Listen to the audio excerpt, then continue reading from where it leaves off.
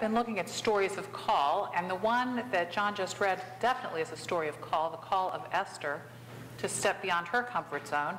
What we're going to read now is not a call story from Luke, and this is a this is a passage that would show up in the lectionary in November, but we've got some sermon series going on. So we're going to read this one a little bit early. It comes from the 21st chapter of Luke, which, to put it in context, you need to know this comes near the end of Jesus' ministry on earth and near the end of his life. And this is what he is saying to his disciples. It's what's called an apocalyptic writing that's talking about the, the end times that are to come. So the language is a little not comfortable for us to listen to, not what we're used to hearing from Jesus. But this is Jesus speaking to his disciples. When you hear of wars and insurrections, do not be terrified, for these things must take place first. But the end will not follow immediately. Then he said to them, Nation will rise against nation and kingdom against kingdom. There will be great earthquakes, and in various places famines and plagues, and there will be dreadful portents and great signs from heaven. But before all this occurs, they will arrest you and persecute you. They will hand you over to synagogues and prisons, and you will be brought before kings and governors because of my name. This will give you an opportunity to testify. So make up your minds not to prepare your defense in advance for I will give you words and a wisdom that none of your opponents will be able to withstand or contradict. You will be betrayed even by parents and brothers, by relatives and friends, and they will put some of you to death. You will be hated by all because of my name, but not a hair of your head will perish. By your endurance, you will gain your souls. This is the word of the Lord. Thanks be to God. How many of you were alive in the 1980s? Do you all remember this television commercial? This was one of the most irksome commercials of all time. Do you know who Kelly LeBrock was? She's still alive. Who Kelly LeBrock is? She was a good looking girl, and she was making Pantene commercials, and she would wave her hair and do, do those kind of things, and she would say, Don't hate me for what? Don't hate me for being beautiful which immediately made most of the world hate her. but then she said, if you buy this shampoo, you'll look just like me. And I went out and bought the shampoo, and guess what? I didn't look like her. Don't hate me because I'm beautiful. That could be sort of the subtext of the story of Esther. Don't hate me because I'm beautiful. How many of you know the full story of Esther? You should. And if you haven't read it in a few years, you probably ought to get it out and read it again. Esther is a fascinating story. Esther didn't start out being called Esther. She had a Jewish name. What was her Jewish name? Here is your, I will give you some of my Wilbur Buds because I got some new chocolate today. If you can tell me the, if you didn't go to seminary, Elizabeth, if you can tell me Esther's Jewish name. Oh, we got to do some Bible study here. Hadassah. You're all going, oh yeah, Hadassah. Hadassah. She was named Hadassah. And she lived with Mordecai, who was her kinsman. She was an orphan. We're not sure if he was her uncle or her cousin, but he was her kinsman. And they were living in what's called the dispersion or the diaspora, the Jews who did not return after the exile. And they're living in a place that we used to call Persia, or the Persian Empire, which was very extensive, covered lots of territories, covered many time zones and languages. And the ruler was named King Xerxes. And King Xerxes was already married. He had a wife named Vashti. King Xerxes knew how to live large. He lived like a king. It's good to be the king. Have you heard that expression? Mm-hmm. He had a party that went on for 180 days. That's six months of partying. And they partied hardy in those days. And near the end, he called Queen Vashti to come out because she was considered to be the most beautiful woman around.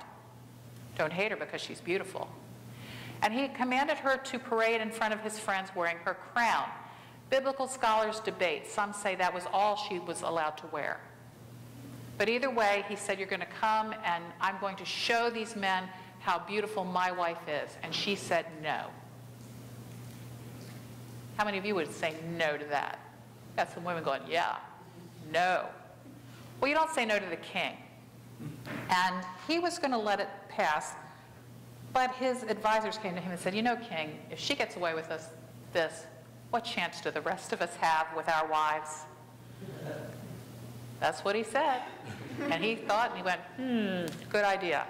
So she was deposed and he wanted a new wife. And if you are King Xerxes, if you're the king of the Persian Empire, you get to pick the best looking girls in town. And so he sent his soldiers out, kind of like Cinderella, you know, when they're looking to put the shoe back on her foot at the end of the story. They go from house to house, village to village, and they go to the home of Mordecai and Hadassah, and she was beautiful, and she was taken from her home.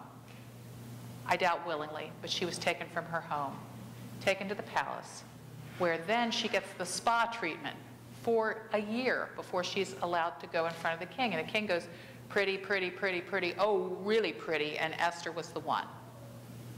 Not that he didn't have all these women as part of his harem, but he loved Esther because of her beauty, and he made her his queen.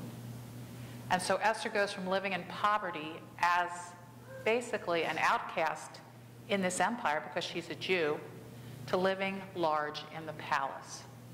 Within the palace, there are palaces within the palace, and she got the bigger ones because she made friends with the eunuchs. And they took good care of her and they loved her because apparently she was as kind as she was pretty. And the king would call for her from time to time after he made her his wife. And she had a very comfortable life. He did not know she was a Jew. He didn't really have a problem with the Jews, but his henchman Haman certainly did. Haman, who was one of his ruling officials. Haman, who would get onto his horse and ride through the town, and he would expect everyone to bow to him, even though he was not the king. And Mordecai refused to bow. Why would Mordecai refuse to bow? He was a good Jew. He was only going to bow before his God. And Mordecai refuses to bow, and it just irks Haman to the point that he can no longer stand it. And he goes to Xerxes and gets him to write an edict, an edict, a law that is put into place, and once it's put there, it cannot be revoked, that says that the Jews will be exterminated. We've seen this happen throughout history, where someone gets the idea that we're going to exterminate the Jews. Well, Mordecai earlier on had saved Xerxes' life because he had overheard servants plotting to kill the king and he sent word and the king was rescued. And the story gets complicated, what's going to happen, and I'll let you read that on your own. But what I want you to focus on is what we just heard John read this morning. Because Mordecai finds out that there's a plot to exterminate the Jewish people. But he knows that Esther is in the palace. Esther is beloved by her husband because she is beautiful. That's really why he loved her. That's tough to write on your resume. Skills, good looking. Experience, good looking. And he sends her word. That's the story we just read. You need to go to the king on behalf of your people. And Esther says, she sends word back, but if you are not called before the king and you just walk into the room when he's having his royal court, you will be put to death unless he holds his scepter out to you. And he said, The king has not called me for more than a month now. I don't think I'd want to go either, would you? If the king's way of doing things is if you, if you appear without being summoned, you're going to be put to death, and he wants her to go, and not just go and ask the king to save her people, but in order to ask him to save her people, what does she have to do? She has to admit that she herself is a Jew. And Mordecai doesn't have a lot of patience with that, does he? He said, okay, if you don't speak up, God will send someone else. Someone else will raise up for your people. God's really not mentioned in this story. But perhaps God brought you to this place for such a time as this. For such a time as this. How many of you think we're living in some really rough times in the world? It's hard, isn't it, sometimes to turn on the news because you're going to get sick of what you see either what happens in our own Congress when people can't get along or when we can't get along throughout God's creation in the world. We see people being cruel to each other even around us in our midst. Social media, God help us all. Let me let you in on a little secret. You don't change anybody's mind by telling them they're stupid. Okay? You don't change anyone's heart by beating them up over what they believe to be true or right. Crime is all around us. I put on Facebook the other day, please don't tell my parents to keep me from living in places that they think are too scary for me to live. Don't, don't scare them like that. But we walk around with a certain amount of fear, don't we? Jesus knew about that too. Because what is he saying to his disciples? There are going to be wars, there's going to be insurrections, there's going to be trouble, you're going to be arrested, you're going to be put in prison. Some of you are going to be murdered, but don't worry. Because God will give you the words you need to speak in those times. God will be with you. Not a hair of your head will be hurt. Well, in the greater sense of things, we have a life with Christ that does not end. But we're going to face some scary times.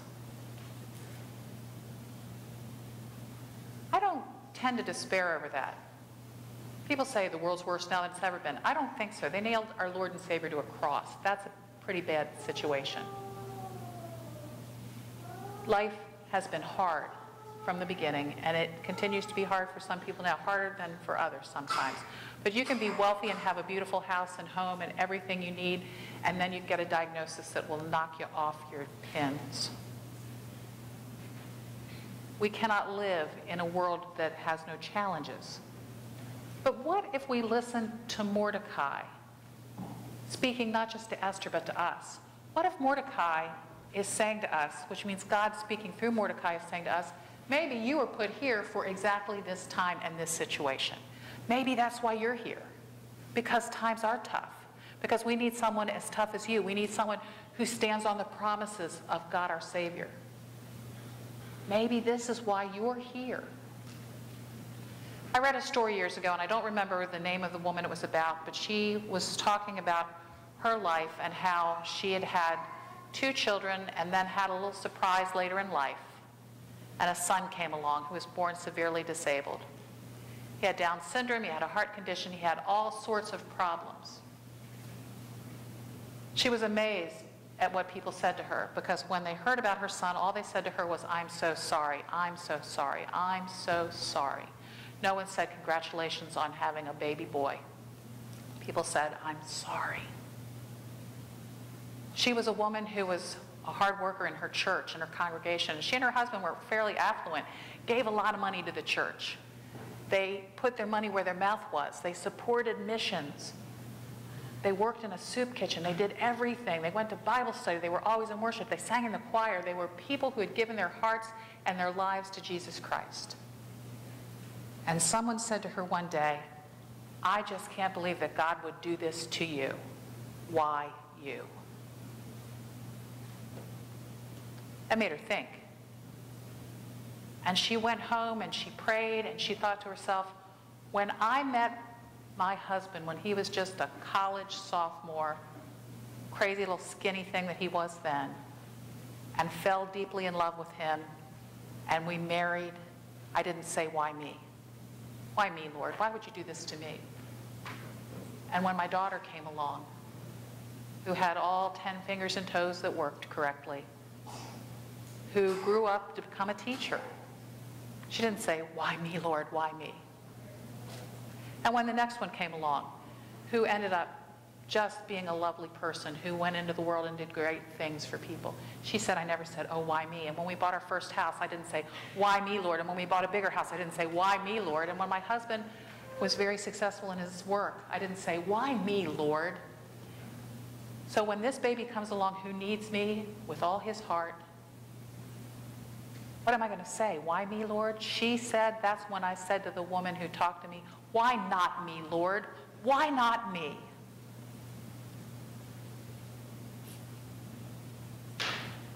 Maybe God has called each person here for exactly this time. i I wring my hands a little bit, which I don't like to do. I'd prefer to roll up my sleeves than wring my hands. But we've got some serious financial times ahead here at Epworth Church. Attendance is not where it used to be. Some people are looking back to the good old days and the good old pastors and the good old times that we had before. And some people are afraid for the future of the church, the United Methodist Church. God knows we may be at the verge of splitting. But there are others who are worried about the church universal because the number of people worshiping The number of families taking their children to church goes down every year and it shrinks and it shrinks and it shrinks. And we think, why us, Lord? Why not us, Jesus Christ? Why not us here? Why not us? Because the world needs Jesus Christ and we have Jesus Christ. We need to get off our pews and into the streets and into the community and tell people about the life transforming power of our Savior. Why not us? Tough lessons, huh? Jesus talking about the times that are to come, and they don't sound like a lot of fun, do they? That, that little apocalyptic business coming at us. People ask me often, are you afraid of dying? And I said, I'm not afraid of dying. I'm not looking forward to the 15 or 20 minutes before, but being dead, no, I'm going to be with Christ. I'm okay with that.